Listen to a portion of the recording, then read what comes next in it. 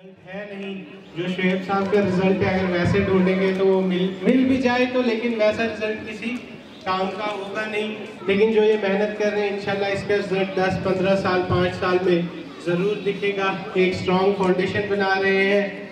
मैं शुएब साहब की पहली बार तारीफ़ कर रहा हूँ, क्योंकि मैं हमेशा इनको क्रिटिसाइज ही करता हूँ, इनके मुँह पे करता हूँ। मैं इनका सबसे बड़ा क्रिटिक हूँ, आज तक इनकी कभी मैंने तारीफ़ की नहीं है। उम्र में ही मेरे से छोटे हैं, लेकिन न जाने क्यों जब मैं सैनिक स्कूल में पढ़ता था तो छुट्टियों में आता था तो इन्हीं के साथ मिलता था। उम्र में ये छोटे भी थे, फिर भी हमारी दोस्ती थी तो काफ़ी पोटेंशियल है शुएब में। और मैं कंग्रेचुलेट करता हूँ इनको कि ये गवर्नमेंट एस्टेब्लिशमेंट में नहीं आए, आराम से आ सकते थे। आज की डेट में पीएचडी भी है कैलिबर भी है एडमिनिस्ट्रेशन में भी आ सकते थे, ज़रूर आ सकते थे, लेकिन इन्होंने जो है एक अलग फ़ील्ड चुना।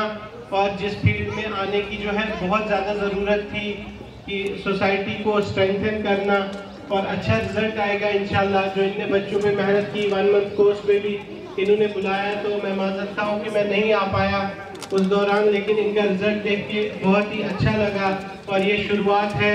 मैं बच्चों को ये यकीन दिलाना चाहता हूँ कि आप शुएब साहब के साथ जो है और उनके पेरेंट्स को भी सेफ़ हाथों में हो, इंशाल्लाह अच्छी चीज़ सीखेंगे यहाँ पर। तो मैं शुएब साहब को एक बार फिर मुबारकबाद देता हूँ और पेरेंट्स को यकीन दिलाना चाहता हूँ कि इंशाल्लाह आपके बच्चे जो है, अच्छे हाथों में है, वक्त लगेगा, लेकिन इंशाल्लाह जो है, आगे फ्यूचर ब्राइट ही होगा।